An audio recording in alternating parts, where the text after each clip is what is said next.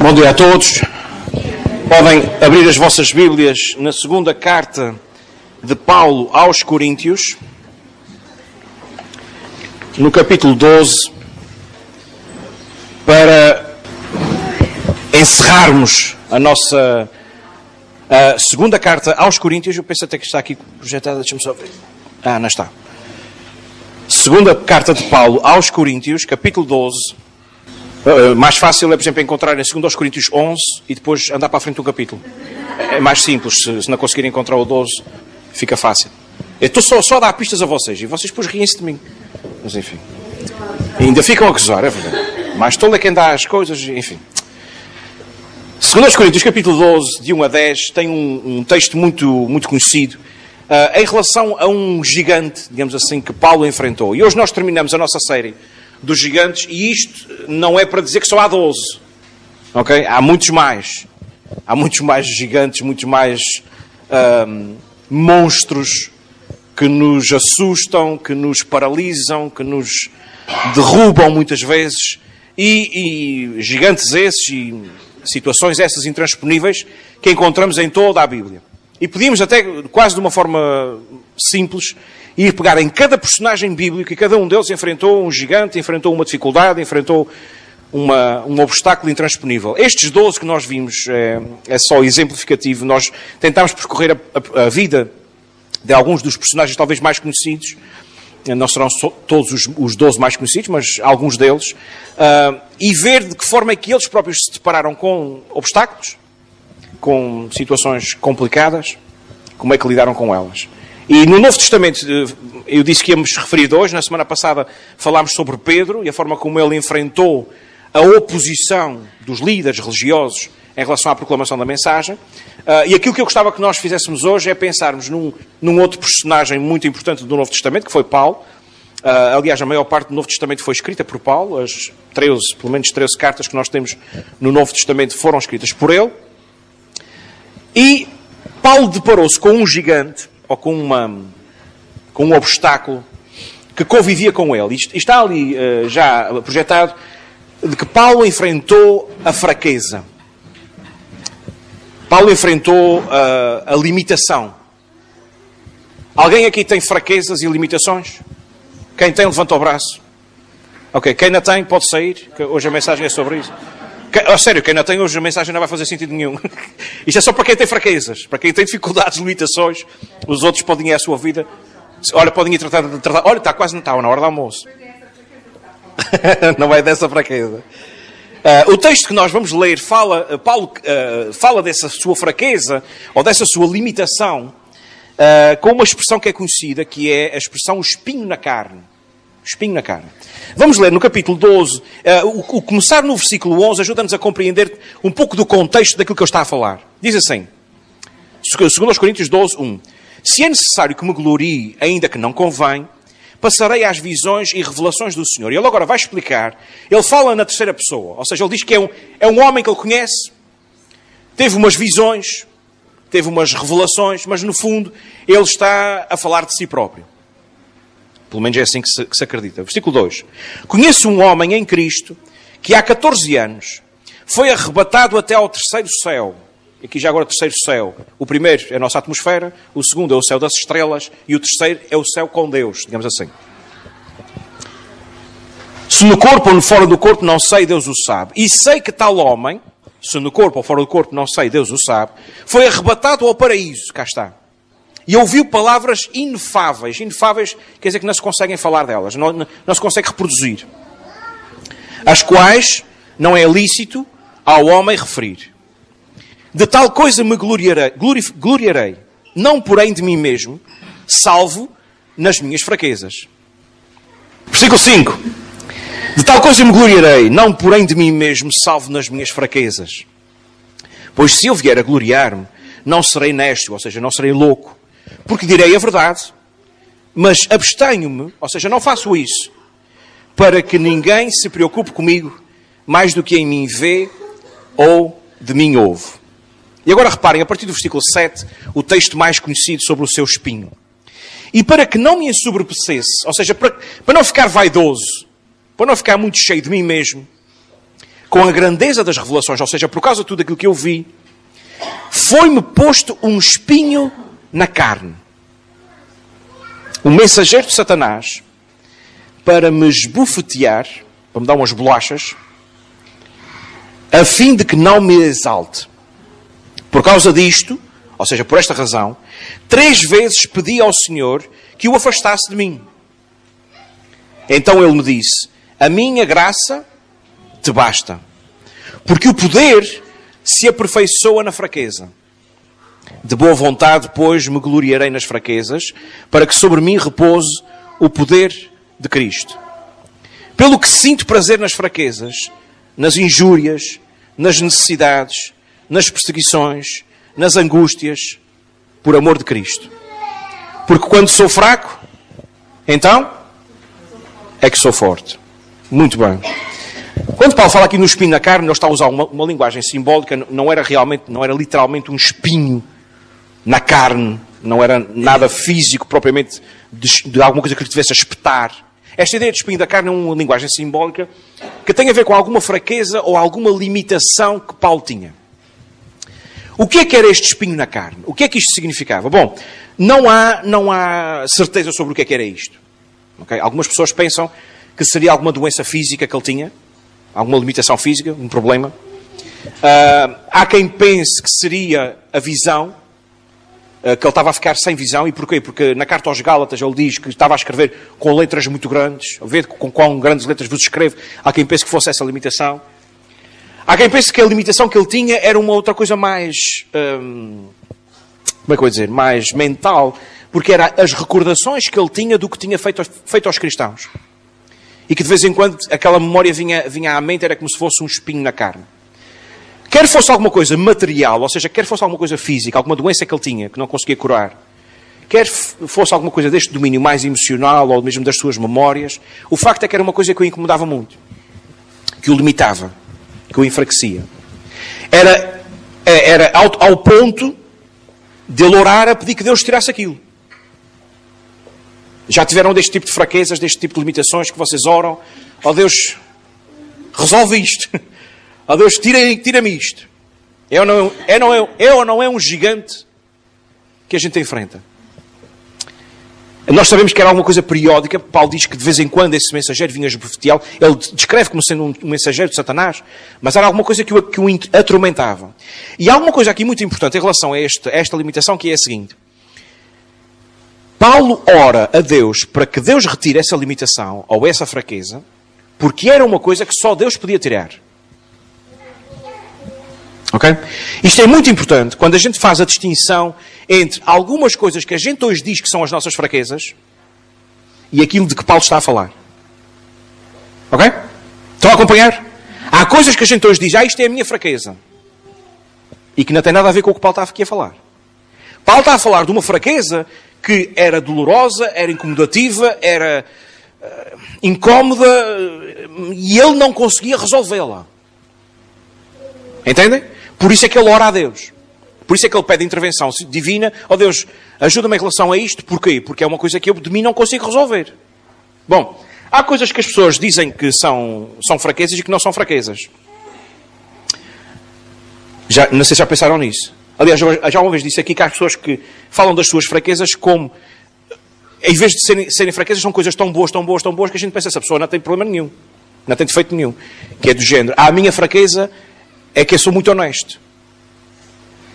Ou então, a minha fraqueza é que eu sou bom demais. Já ouviram esta? A minha fraqueza é que eu sou bom demais. É que eu perdoo demais. Bom, perdão, ser bom, isso não são fraquezas. Se isso é a tua fraqueza, pá, és uma pessoa perfeita. Porque o resto então é, é, um, é excelente. Ah, a minha fraqueza é que eu então digo sempre o que penso. Há situações em que é preciso a gente medir o que diz. Mas a honestidade e a sinceridade só por si não são uma fraqueza. Portanto, a ideia de fraqueza aqui não é, não é nisto. Não é a gente pensar coisas muito boas que a gente faz, ou coisas que a gente acha que são muito boas que a gente faz, é que são fraquezas. Para outros, a fraqueza é um familiar qualquer. Ai, a minha fraqueza é a minha sogra. Não é o quase. Não é o quase.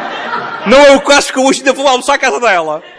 Não é o caso. Nunca é o caso. E hoje, particularmente, porque vou almoçar à casa dela.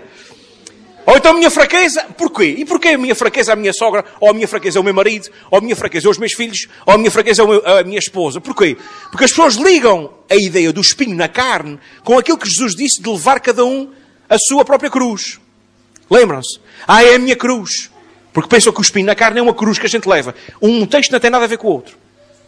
A cruz, já falámos sobre isso, tem a ver com a nossa entrega completamente nas mãos de Deus e a nossa, o abdicar da nossa própria vontade. Estamos crucificados com Cristo, como Paulo diz. Aqui o espinho na carne não, é uma limitação nossa. É uma fraqueza nossa, não tem nada a ver com os nossos familiares. Mas, há outras pessoas que dizem que as suas fraquezas são aqueles pequenos pecadinhos, aqueles pequenos vícios. A minha fraqueza é o café. Não é? Ah, a minha fraqueza. Ou o tabaco. A minha fraqueza. Então o resto não, não, não tem vícios, mas então o, o cafezinho ou o tabaco, isso é a minha fraqueza. A minha fraqueza é. O quê? O quê? Os chocolates. Estava aqui também. Os doces. A massa cevada é a minha fraqueza. Ai, a minha fraqueza é os bolos. É o creme dos bolos. A minha fraqueza é o creme dos bolos. A minha é. Mas não, não é, não é disto que estamos aqui a falar. Ok? Não é disto que estamos aqui a falar. Não é de vícios, de hábitozinhos, de coisas que a gente precisa ultrapassar. E porquê? Porquê é que não é disto que estamos aqui a falar? Porque Paulo está a falar de uma coisa que ele não conseguia resolver. Paulo está a falar de uma coisa que ele não conseguia resolver. E esses, essas, entre aspas, fraquezas, a gente consegue resolver. Tens o vício de café? Corta no café. Tens o vício de tabaco, dos doces, da televisão, das novelas, do creme dos bolos, o que quer que seja. Corta. Isso é uma coisa que tu podes resolver. Isso não é uma limitação, não é uma fraqueza. Paulo aqui está a falar de uma coisa que, não, que ele não conseguia resolver. Era uma coisa mais forte do que ele. Estava acima dele. Mesmo em relação à questão das doenças. Em relação a nós, à questão das doenças. É importante nós pensarmos aqui, porque normalmente nós pensamos na a limitação, a limitação ou a fraqueza, identificamos-la com doenças. E isto é, isto é um facto. Podia ser o caso de Paulo. Podia ser o caso de Paulo. Mas é importante nós fazermos também aqui uma distinção que é a seguinte. Quer do ponto de vista físico, quer do ponto de vista mental, porque há doenças em ambos os foros, e nós temos que enfrentá-las com a mesma coragem, tanto uma como a outra, é importante nós percebermos o seguinte: há de facto doenças que são incuráveis. Mas para essas doenças, quase todas, não vou dizer todas, algumas não, não há ainda, há tratamentos. Há terapias. Ok? Deus, ouçam o que eu vou dizer. Deus deu ao homem e permitiu ao homem um conjunto de recursos hoje quer médicos, clínicos, terapêuticas, de recursos, de, de, conhecimento, etc. Deus, foi Deus que permitiu isso. Para que a gente se possa tratar e cuidar com recurso a isso. É ou não é a irmã Amélia? A irmã Amélia agora não pensa, olha, ela até, até está distraída a ver o teto. Ela até vê as cores de maneira diferente. Vê, vê ou não vê as coisas agora? Ela quando chegou a casa perguntou à, à Graça se a Graça tinha pintado a casa dela. Tal era, não é? Agora, sem óculos e tudo, maravilha. Ok, agora vamos pegar aqui no caso da irmã Amélia. A irmã Amélia tinha dificuldades de visão. E ela podia dizer assim: isto é uma limitação que eu tenho. É ou não é? É legítimo. Pronto. Deus, cura-me. E Deus pode curar ou não? Claro que Deus pode curar. Deus não está impedido a isso. Mas Deus diz assim: Ó oh, Amélia, há médicos aí embaixo que têm maneiras de intervir e de resolver isso. Bem pensado, senhor. Vou ao hospital, vou já experimentar, como diria o, o, o Marco. E ela foi. E, e agora vê melhor. Ou seja, há recursos que estão ao nosso alcance, mesmo em relação às nossas limitações, que Deus já permitiu que acontecessem. Às vezes a gente tem um pouco aquela ideia de espiritualizar a, a, a, doença e dizer, não, então esta limitação, então esta dificuldade, quer seja física, quer seja mental. Então esta limitação, então esta fraqueza, e que se Deus quiser, Deus vai curar. Isso é verdade. Mas Deus usa vários recursos para fazer a cura. Por exemplo, nós também podemos confiar assim, ah, Deus, Deus vai providenciar o meu sustento. Não é? A gente confia que Deus providencia o nosso sustento ou não? Confiam?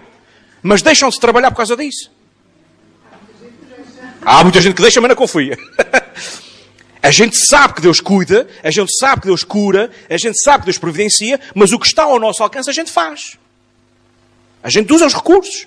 A gente usa o carro, a gente usa a roupa, a gente usa a eletricidade, a gente não fica à espera que Deus Ó oh Deus, tu tens todo o poder, prepara-me uma refeição. A gente vai fazer, a gente vai, vai cozinhar, a gente vai preparar as coisas, não é? Portanto, se há recursos que Deus já disponibilizou, eu diria até que é irresponsável da nossa parte não os usar. Aliás, nós tivemos aqui há. Já passou se calhar dois anos. Aqui há algum, há tempo, tivemos aqui um, uma situação de um casal que os irmãos conheceram. Em que, em que ela, por causa de uma dificuldade mental, e porque não estava a ser corretamente acompanhada e não estava a ser corretamente medicada, foi grave para ela, houve consequências para ela, para a sua família e até mesmo para a igreja. Nós, alguns irmãos que estão aqui presenciaram algumas situações aqui. Portanto, a gente tem que perceber que há um sentido de responsabilidade quando nós pensamos nas nossas limitações físicas, mentais, emocionais, psicológicas, etc., que nós só podemos dizer, olha, isto é de facto uma limitação, quando nós já esgotamos tudo aquilo que é necessário e responsável da nossa parte de usar para tentar colmatar aquilo. Há situações crónicas, sem dúvida. E aí a gente pode falar de uma limitação. Mas eu queria só fazer essa distinção, porque, por exemplo, quando nós estamos a falar aqui de Paulo, Paulo com certeza vivia numa época, e compreendem, em que os recursos eram muito mais limitados. Para eles, doenças que hoje seriam curadas, que seriam facilmente atendidas naquela altura, era uma coisa que só se Deus intervisse. Só se Deus curasse sobrenaturalmente, não havia outra, outra hipótese. Hoje temos outros recursos. Ah, mas então quer dizer que não é preciso Deus? Não, a gente continua a orar. A gente continua a orar pelos médicos, continuamos a orar pela, pela, pela terapia. O, o, o Dan e a Tori foram ao continente com, com o Isaac, uh, porque foram a uma consulta com, o, com ele por causa do, dos seus, seus intestinos, mas nunca deixaram de orar. Nunca deixaram de pedir que Deus acompanhasse na viagem, que Deus cuidasse do médico, que Deus desse orientação. E pela graça de Deus, vocês já viram no boletim? O boletim tem lá, vocês têm que ler bem o boletim. O boletim tem uma história, mas tem dois atos. Ok? Dois, dois, dois episódios. Tem o antes da viagem e o depois da viagem. Está aí Nielsen's 1 é antes da viagem. Portanto, eles não vão viajar agora na semana outra vez. E Nielsen's 2 é depois da viagem. A gratidão que dão por aquilo que Deus fez. Portanto, até do ponto de vista deles próprios, eles viam isso como uma fraqueza. Como uma limitação. Mas foram fazer o que era necessário, foram procurar auxílio que era necessário, sempre confiando que Deus ia abençoar, apesar de ser uma limitação para além do seu, do seu controle. Quando nós pensamos em relação à nossa, própria, à nossa própria vida, nós temos que perceber que existem limitações, existem fraquezas, algumas delas nós chamamos de fraquezas, mas não são, são opções, são escolhas que nós fazemos. E essa gente tem que tomar uma decisão o que é que queremos fazer com isso. Mas há outras, de facto, que nos limitam. Agora, em nenhuma das circunstâncias, quer seja do ponto de vista emocional, de memórias que nós temos, quer seja físico, mental, o que quer que seja, todas as limitações que nós temos, nós temos a responsabilidade de usar os recursos que Deus já deu. Se não, nós vivemos a história daquele. Vocês devem conhecer esta história. De um fulano que estava em sua casa e começou a chover muito. E, há, e o nível da água começou a subir. Começou a haver uma inundação. Vocês conhecem esta história, não? É? Quase todos devem conhecer. Começa, começa, com a internet toda a gente conhece estas histórias. Começa a chover, a chover, chover, chover, chover, chover, o nível da água sempre a subir, e ele começa a ver que a coisa não estava a correr bem. Ah, e, mas, mas ele era crente. Ok, era membro da Igreja Batista da Praia da Vitória, era crente. Senhor, salva-me, Senhor, ajuda-me. Salva o teu servo nesta situação de enchente. Mas a água continua a subir. Passa por lá um vizinho e diz: Oh, oh vizinho, a gente, a gente tem ali um barquinho uh, borracha, o vizinho quer ver com a gente. Ele diz: Não é preciso, já pedi ajuda ao Nosso Senhor, vai-me ajudar. Pronto. E o, e o, e o fulano vai-se embora. Mas a água continua a subir, ele tem que subir para o, para o telhado. Sobe para o telhado e já passa um outro vizinho de barco. Ó oh, vizinho, queres boleia? Não é preciso, já pedi ajuda ao Senhor, vai-me ajudar. E lá vai o vizinho embora. E bocado já está mesmo nos pincas, passa a proteção civil de helicópteros. Oh, quer ajuda? Não é preciso, Deus vai-me ajudar, podem-se embora. Vai-se embora. Fulano morre afogado. Fulano morre afogado, chega ao céu e diz: Oh Deus, caramba Deus, eu, eu confiei em ti, eu pedi que tu me ajudasses. Eu dei testemunho até que tu me ias ajudar a três, a três pessoas. Ó oh, Senhor, e tu deixaste morrer? E Deus diz: Eu mandei-te três pessoas para te salvarem. E tu não quiseste nenhuma. Mandei-te os dois vizinhos, mandei-te a proteção civil e tu não quiseste nenhuma. Isto é uma frustração, naturalmente. Mas a ideia é esta: os recursos que estão à nossa, à nossa mão, aquilo que é possível nós usarmos, nós temos a responsabilidade de os usar. Podem permanecer limitações? Podem permanecer fraquezas? Sim, então vamos lidar com elas. Como é que Paulo lidou com esta? O que é que Deus lhe respondeu? Como é que Paulo fez para lidar com esta, com esta, com esta limitação, com esta fraqueza? Bom, a primeira coisa que Deus lhe diz, e parece-me que é o mais fundamental aqui, está no versículo 9. O que é que Deus diz a ele? A minha graça te basta. A minha graça te basta. Paulo orou, diz que ele pediu três vezes ao Senhor, e portanto isto quer dizer que a gente só pode orar três vezes por cada coisa que a gente quer, não é? Então quantas vezes é que a gente deve orar? 70 vezes 7 como o perdão, não? Porquê é que Paulo orou três vezes? Só três vezes. Porque Deus respondeu. Paulo orou três vezes, não é porque três tem um significado especial. Deus orou, Paulo orou três vezes e percebeu a resposta de Deus. Deus já respondeu, está respondido. Portanto, não tem que continuar a insistir em oração. Porque às vezes as pessoas fazem isto. Não? É? As pessoas oram, Deus responde, e a pessoa pensa assim, mas ainda gosta dessa resposta. Vou continuar a orar porque quero outra coisa, Deus, não é isso. Tu estás aí meio enganado, eu vou continuar a orar porque. Não, Paulo ouviu a resposta. Pronto, já chega. Não é que a gente só pode orar três vezes, não é que tem que orar trinta. Não há número de vezes. A gente deve orar até perceber a resposta de Deus. Paulo, a certa altura, percebeu, ah, pois, é isto que Deus estava a dizer. Pronto, está, está orado. Está orado e está respondido. E a resposta foi, a minha graça, minha graça te basta. Eu não preciso de mais nada a não ser a graça de Deus. Nós não precisamos de mais nada a não ser... A gente acha que precisa de muita coisa. Não? A gente acha que precisa de muita coisa. E particularmente em relação às nossas limitações, às nossas fraquezas, a gente acha, a gente acha sempre que precisa que Deus resolva isso. E Deus diz: Não. Não, Paulo, tu não precisas que eu te resolva isso. Porque a minha graça é suficiente. O que é que é a ideia de graça? A ideia de graça é aquilo que Deus, é aquilo que Deus nos dá sem nós merecermos. Ou seja, tudo. Aquilo que Deus nos dá sem nós merecermos é tudo. A graça, a graça de Deus é isto. Às vezes a gente tem a ilusão de que porque somos bons crentes, Deus vai nos recompensar. Ou seja, eu vou ser um bom crente para Deus me ficar a dever alguma coisa. Todas as suas bênçãos, todas, são pela sua graça. O perdão dos meus pecados é pela sua graça, não é por nada de bom que eu faça. Não é por ser crente, não é por vir à igreja, não é por dar dízimos, não é nada disso. Perdão pela sua graça. Salvação pela sua graça. Misericórdia, pela sua graça. Oxigênio, pela sua graça. Saúde, pela sua graça. Pouca saúde, pela sua graça. Trabalho, pela sua graça. Trabalho mal remunerado, pela sua graça. Desemprego, pela sua graça. Dificuldades na família, família, casa, o que quer que seja, é pela graça de Deus. Quando a gente não entende isto, a gente pensa que é coisa nossa, que é nosso mérito, que fui eu que consegui. A gente às vezes até ora a dizer isso, ó oh, Senhor, oxalá, oxalá eu mereça isto, ó oh, Deus faz com que eu mereça aquilo, ah, eu quero merecer. A gente não merece. A única coisa, a única coisa que a Bíblia diz que a gente merece, sabem qual é? Morte. Morte. A Bíblia diz o salário do pecado é a morte. O salário é uma recompensa. A recompensa, por causa do nosso pecado e porque todos pecamos, o que merecemos é a morte. Merecer, merecer, merecer, não merece nada. Ninguém vai chegar ao céu a pensar assim, ah, ainda bem que eu mereci o céu. Epá, não, então se calhar estás no lugar errado.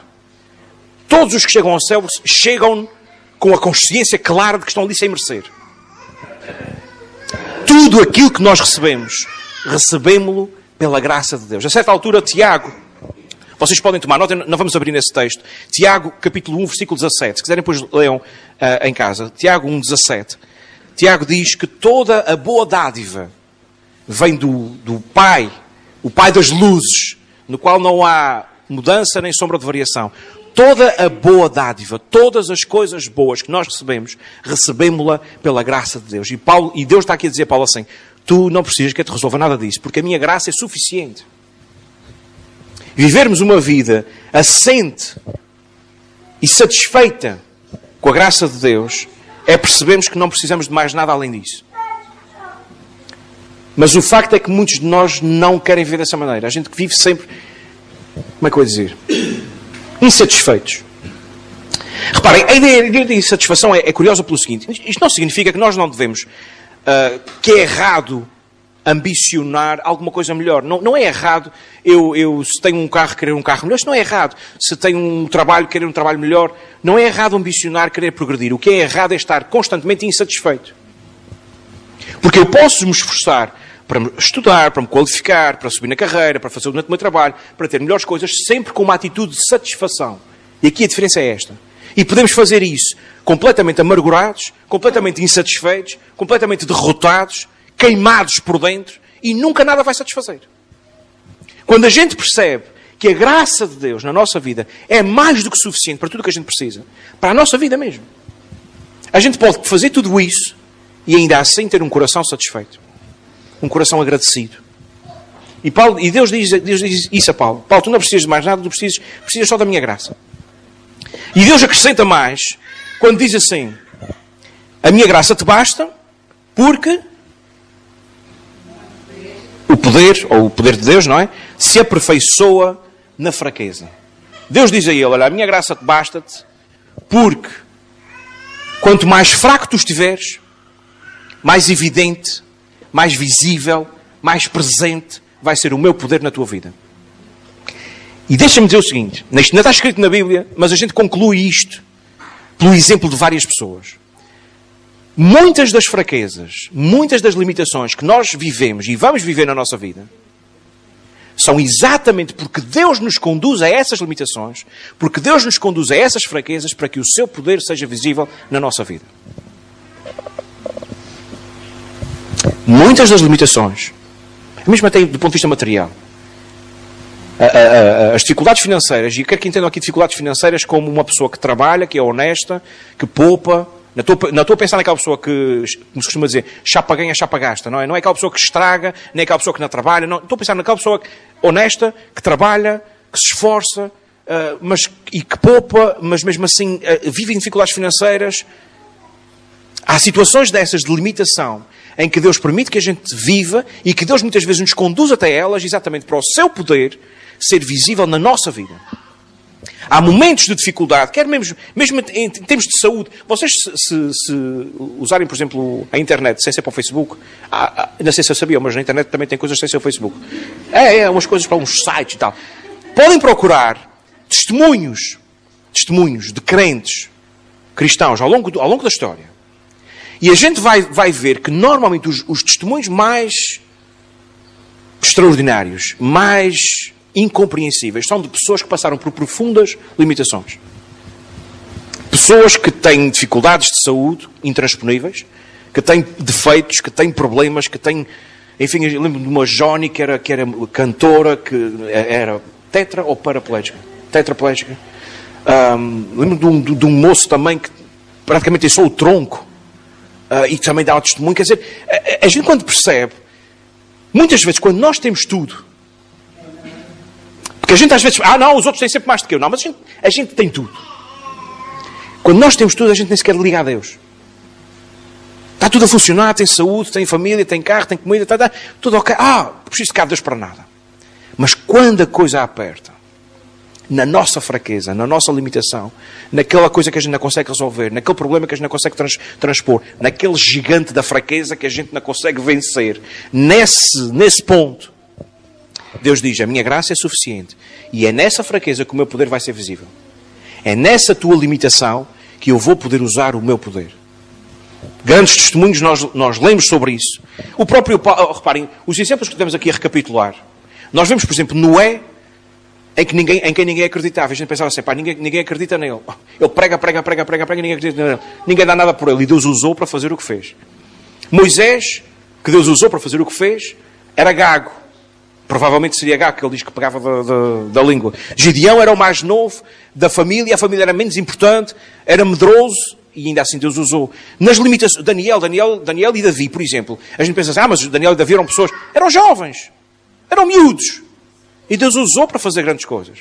O próprio Paulo, que nós estamos a ver hoje, tinha esta limitação, tinha esta fraqueza, uma coisa que o, que o derrubava, e Deus usou para escrever 13 cartas, para ser o doutrinador da igreja, para ser enfim. Portanto, muitas vezes nos momentos de fraqueza e os pontos em que nós estamos com a maior limitação, em que, que a gente sente o tal espinho na carne, um, a gente até pode pedir a Deus, Deus, resolve isto, ou tira isto, ou, ou dá-me uma solução para este problema, mas não é, não é esse o plano de Deus. O plano de Deus é que a gente continue com esse espinho, com essa limitação, com essa fraqueza, e que a gente perceba que nessa situação o poder dele vai ser visível o poder dele vai estar presente. A sua graça e o seu poder. A resposta que Deus dá a Paulo, no fundo, é esta. É por isto que Paulo parou de orar. É por isso que Paulo orou três vezes. Ele diz: Olha, o Senhor pedi três vezes e depois calei. Porquê? Porque Deus respondeu. Deus disse: Não, vais ficar com isso. Porque a minha graça é suficiente e o meu poder vai ser visível na tua fraqueza. E Paulo diz assim: Pronto, então se tiver que ser, pronto, olha, deixa andar. Paciência. É de me aguentar. Não é isso que ele diz? Tá, você, alguns alguns já, já, já pegaram de sono. Epá, ainda, ainda é cedo. Podem ter fome, mas sono é difícil. Paulo diz assim: Olha, pois Senhor, pois se é isso tu queres, paciência, deixa andar. Pois pode ser. O que é que Paulo diz? Olha lá para o texto, não olha para mim. Eu não sou lindo, pá. Olha para o texto. O que é que diz? Ainda no versículo 9. De boa vontade, pois me gloriarei ou me alegrarei, conforme a versão. Ele diz assim: ah, então eu vou ficar feliz com isso. Feliz com as fraquezas.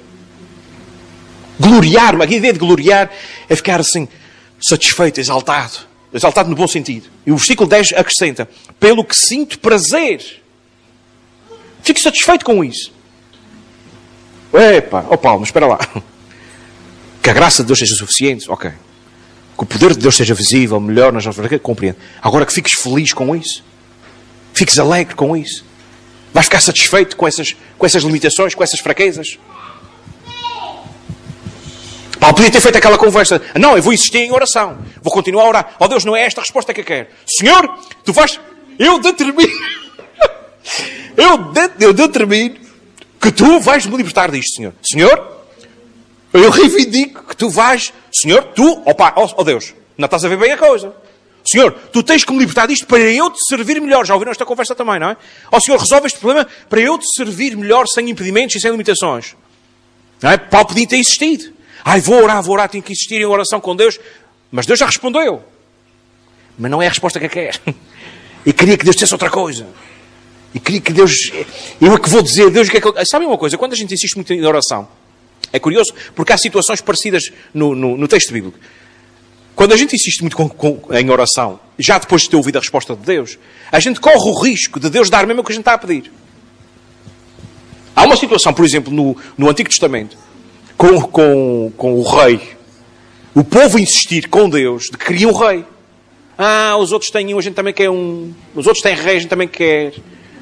E Deus diz: Não, eu, eu sou o vosso rei, eu. eu ah, e Deus já está, toma lá um rei.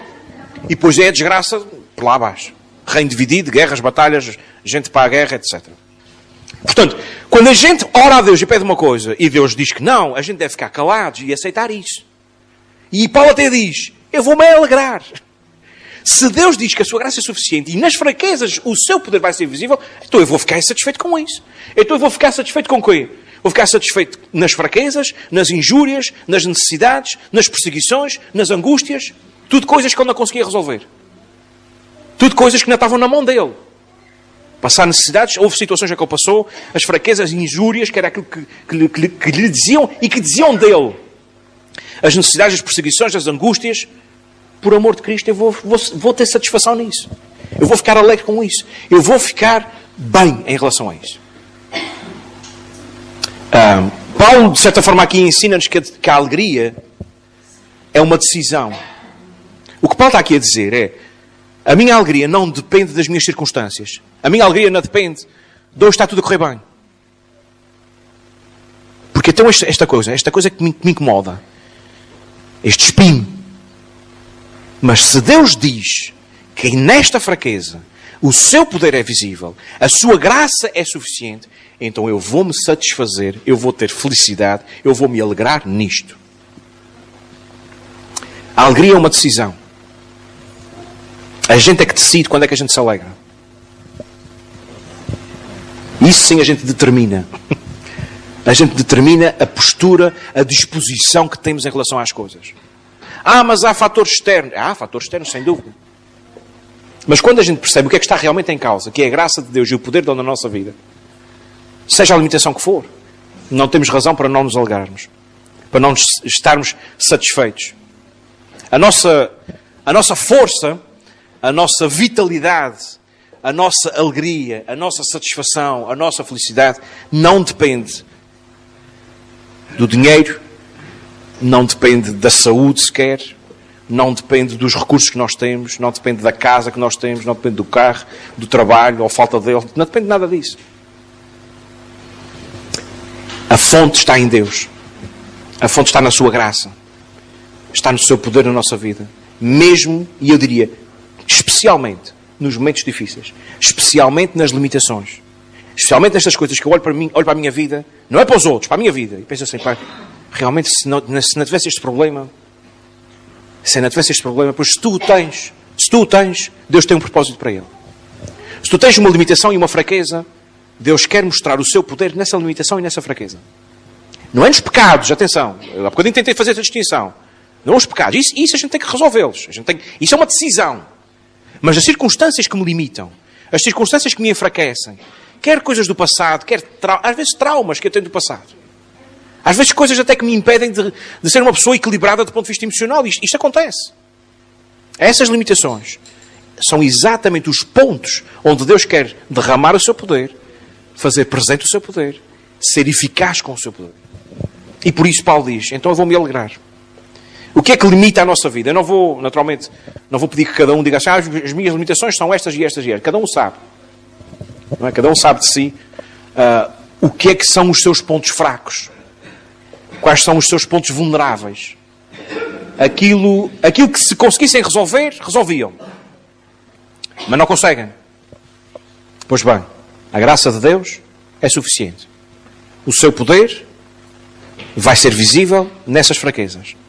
E a nossa disposição deve ser uma disposição de satisfação e de alegria por tudo aquilo que Deus faz na nossa vida. Que o Senhor nos abençoe. Amém.